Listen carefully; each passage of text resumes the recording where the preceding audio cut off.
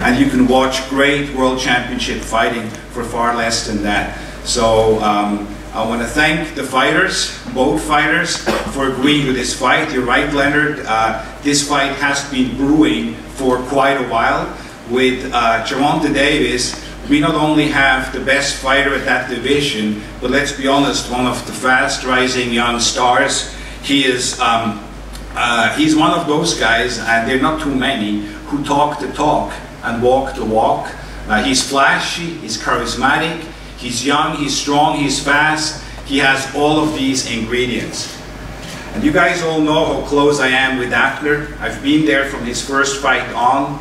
So how can Abner take this fight? It is a dangerous fight, but that is how Abner Mares' career was built, always seeking out the most difficult challenges in every of the weight classes, in those three weight classes where he became world champion. Five, six times, seven times, eight times, I forgot counting how many times world champion. He is a legend of the sport. He is a modern day gladiator. He is one of the best fighters ever to come out of Mexico and here in the sport now. And for this is these kind of challenges is exactly what makes him one of the legends. And to go up in weight, something which Abner has talked to me for quite a while, didn't surprise me. And honestly, when he said he wants to fight Gervonta Davis, it didn't really surprise me either, because that's just how Abner is. And it's really interesting to see uh, with his trainer, with his team, uh, the Garcia Gym, with Robert Garcia, that's what those fighters at that gym do. That's the kind of confidence his trainer, Robert Garcia, instills in him as he does in his brother and in his other fighters. Robert is already a uh, trainer of the year multiple time and I just saw he was actually uh, nominated again for the 2019 award for the Ring Magazine uh, trainer of the year. So he obviously knows what he's doing. He knows how to instill uh, confidence in his fighters and really bring out the best and exploit the weaknesses of the opponents Next year, the beginning of January, for a stretch of 49 days to be exact, leading up to uh, the March 16th card in Dallas with uh, his uh, brother Mikey against Errol Spence, he will be in five world championship fights. And in several of them, his guys are the underdogs but he knows how to motivate them, he knows how to get them ready, and it's a pleasure now for me to introduce to you one of the best trainers, if not the best trainer in the sport today, Robert Garcia. That uh, Richard said, but uh, so was Broner, you know, and uh, this time around, I, I think uh, Abner, Abner's hungry, motivated, he's looking to be one of the few Mexicans to ever capture four, four titles in four divisions, so you know, you guys are gonna be in for a great fight. You know, let's uh, let's hope to see. Hopefully, we can see the you know the stuff sold out, and uh, and uh, the fans are gonna enjoy a fight that's gonna be full of action. Thank you, guys.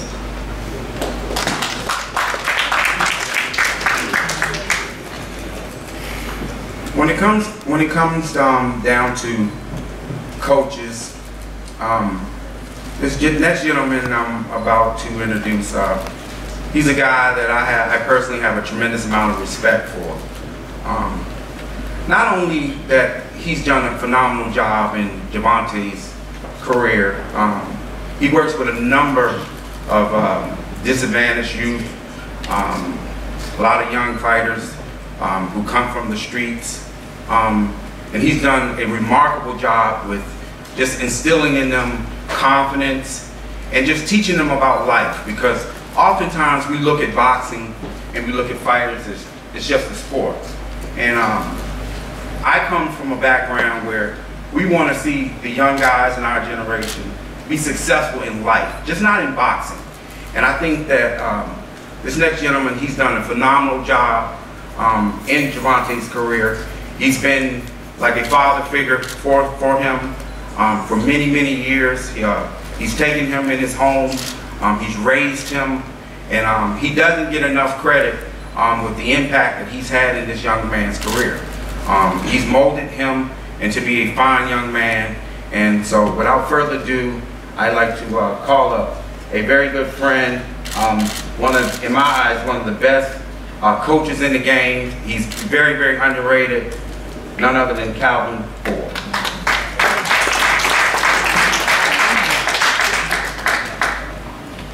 Thank you. How y'all doing out there? Ralph, good. Nice seeing you again. Me and are from the same cloth, you know, raising these guys, you know, to be the best that they can be. But what makes a great coach, and what makes a great coach is the guys that he worked with. This is my guy right here from day one. And he's giving me a chance to go against a great mind right here. Been watching him since we was little on HBO, Showtime, and everything. But now it's an honor to be standing here with y'all and competing with y'all on February 9th. I'm looking forward to it because that's when my man right here will have to step up to show the world who he truly is. I can't wait. Thank you.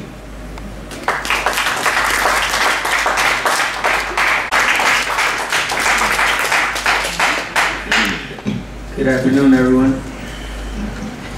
Um, first of all, I want to thank God. I want to thank everybody for being here.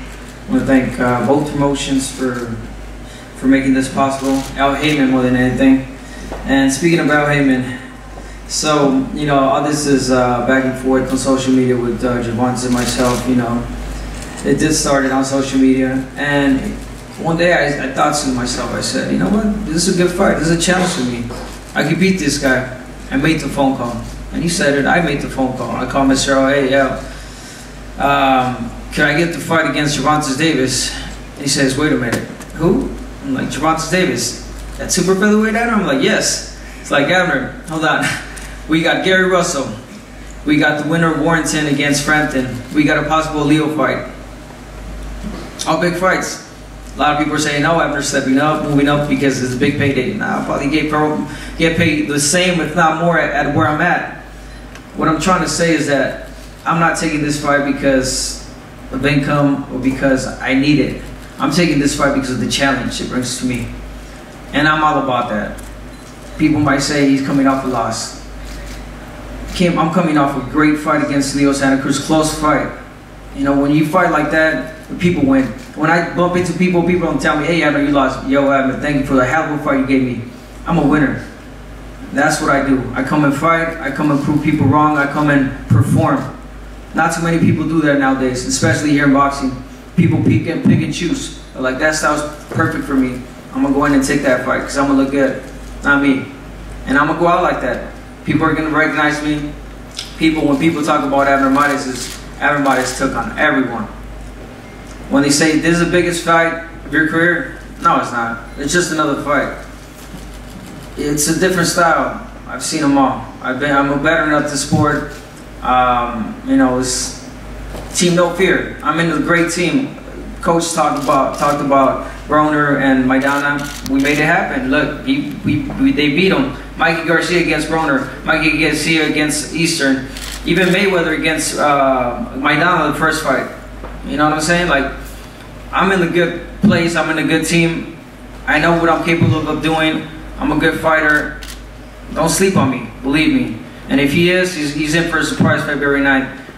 Buy your tickets. Sell this out. It's going to be a hell of a fight. And we fight for you guys. Thank you guys. Soon to be four-time world champion. You should be ready.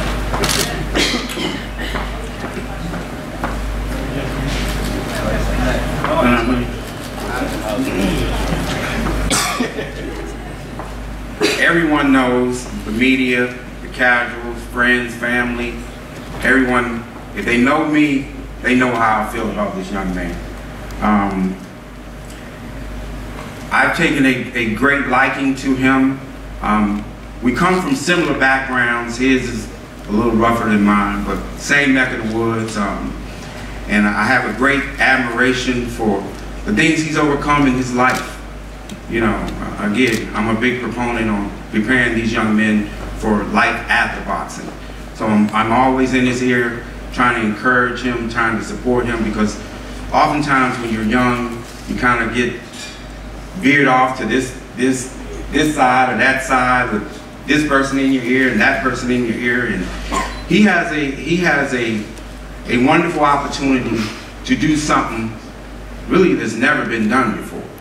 Um, I I have a a great great confidence in him that in due time he's going to be the biggest star in this entire sport.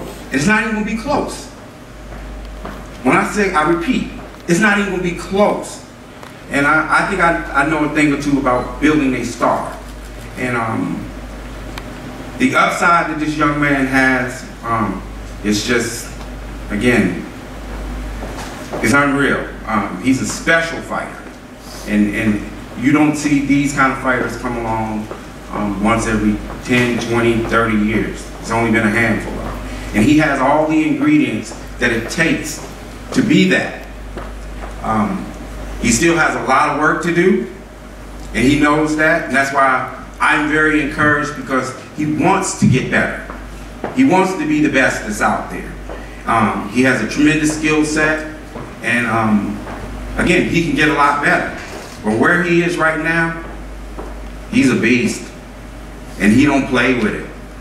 And come February the 9th, y'all gonna see what I'm talking about. I mean, y'all y'all have got a glimpse, only a snapshot of what Gervonta Davis brings to the table. So ladies and gentlemen, without further ado, the most electrifying, the most exciting fighter in the entire sport from the streets of Baltimore. Please help me welcome two-time super featherweight champion, the current WBA super featherweight champion, none other than Gervonta Tank Davis. Yes. On this side, you know, and um, said I want to thank um, my team, Leonard, Al, my coach, Lauren, I mean, uh, Calvin, Lauren, and myself. You know, I want to thank myself for taking the fight, uh, even though I'm the champ.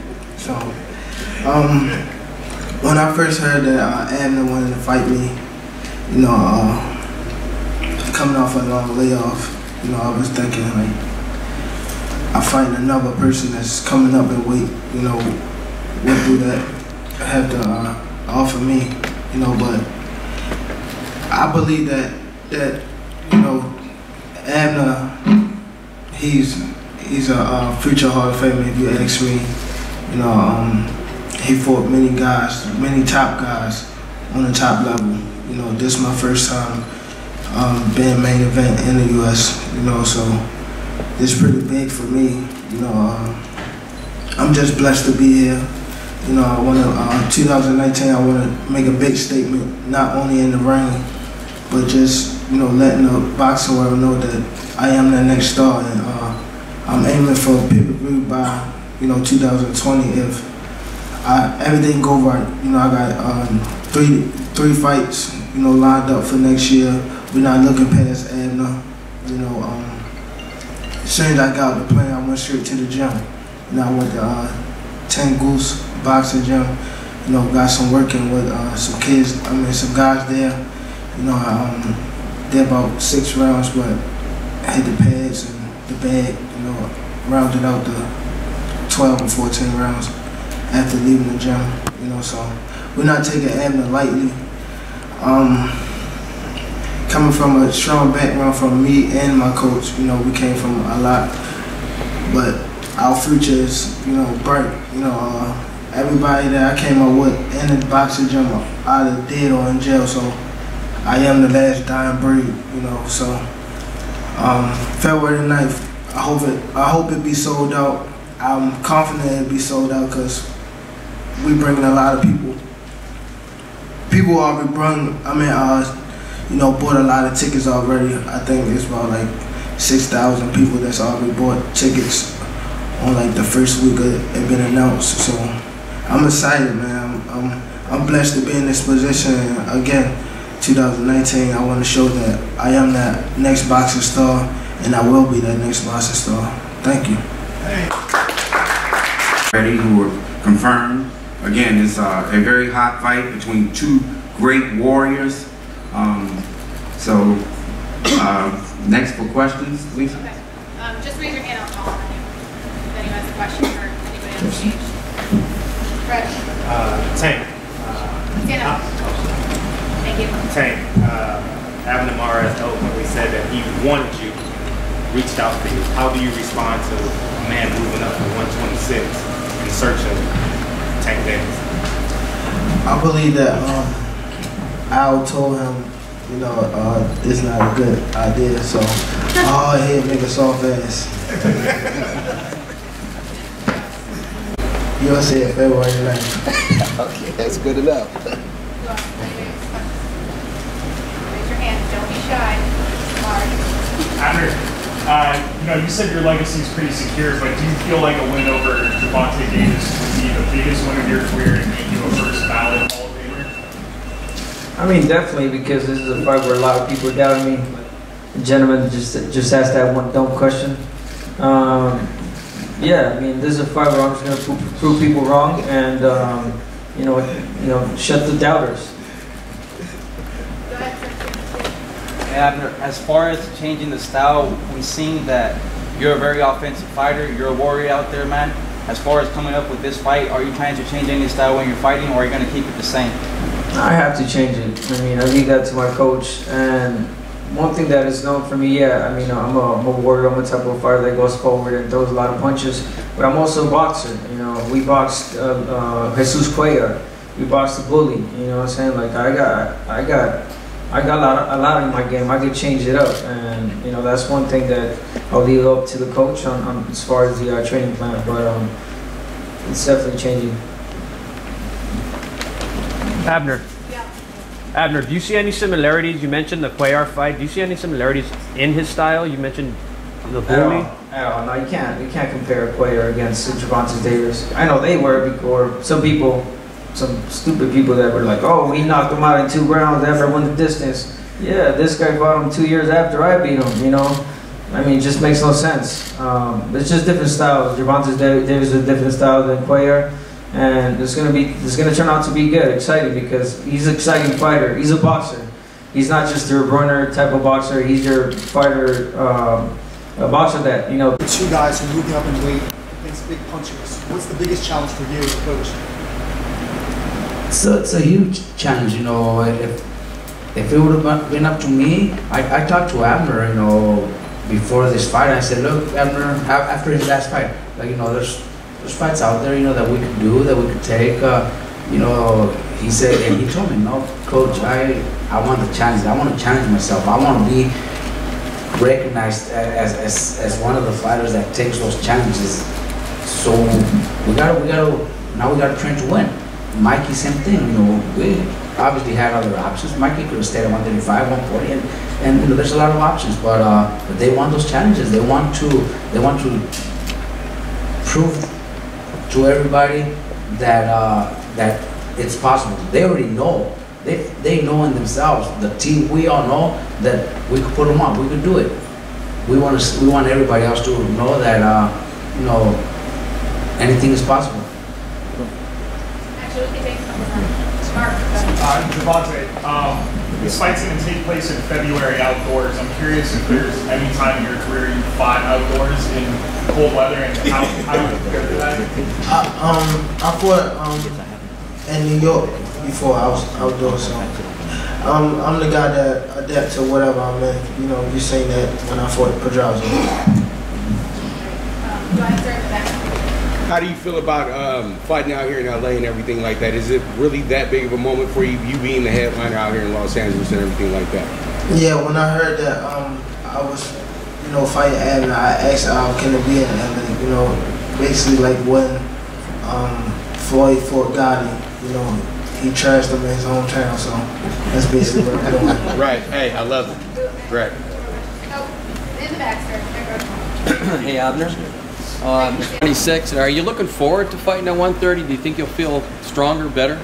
I'm looking forward to the fight. You know what it is? Just, when when I was training for uh, to make 126, and I would be sparring at like 136, 140, and I feel good, you know. But once I started cutting weight, I started feeling fatigue, and obviously, it's easier to move up on weight, no doubt. You know what I'm saying? But um, honestly, I feel strong at this weight. You know, I, I work, I walk around a decent weight, um, and uh, I just feel like I'm going to be strong and, and, and more endurance for sure.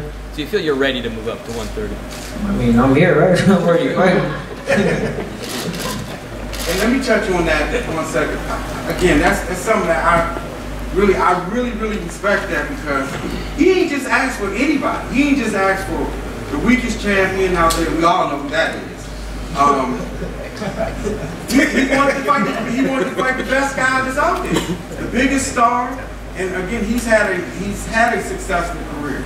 He's not he's not a guy that's hurting for money. You know, he's made a lot of money, and he's had a lot of um, good victories, and, and and he's been a, a, a multi-world champion. Again, he must see something in Tank to ask for. So again, on February 9th, we're gonna see. Yeah, right there. Hey Tank, is uh, training camp going uh, back to Florida or is it going to be mostly in uh, Maryland? You see who on what, right? What's that? You see who on what? Yeah.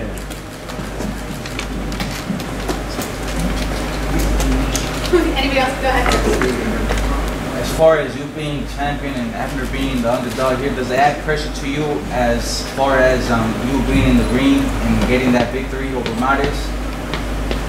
Keep saying again, I'm sorry. As far as you being the, the champion and Abner being the so-called underdog, does it add pressure to you as far as getting the victory in the ring?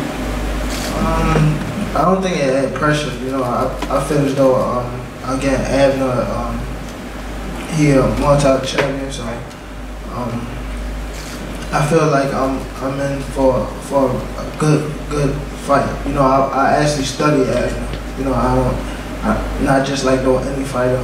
You know, not watching them. You know, I, I actually watch them at night before I sleep. Robert I don't think it can be understated the challenge that your team is taking over the next three months. Uh, you created great game plans with Maidana, Broner, Mayweather, Maidana. Great plan, and the other 50 is up to the uh, fighter to perform. I mean, one thing is having the game plan written or in your mind, and another thing is going out there and performing that game plan.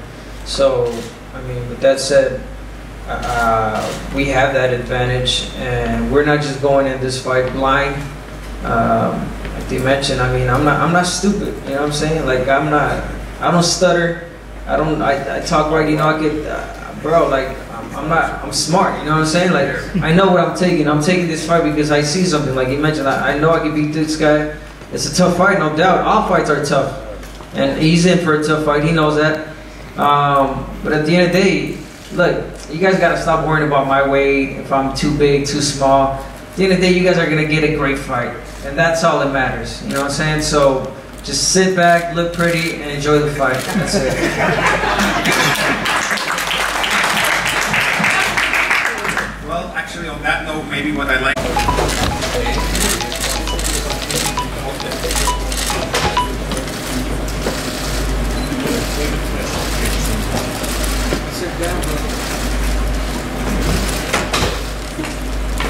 right, look right here. Got it? Look out at the camera, right there. Cool. Let's get, uh, um, next your fighters and, uh, back. You guys see what's going on there from that? Got it. No, All right. that's him. Okay, so let's, let's bring them on that side. Let's let her- Yeah, I'm Richard. That works. All right, look at Scott. There we go. Oh, right here. And then look out at the back, everybody. Good? Everyone got that? One more, look down right here. All right, everybody good? Good? Okay, sweet. Let's do, uh,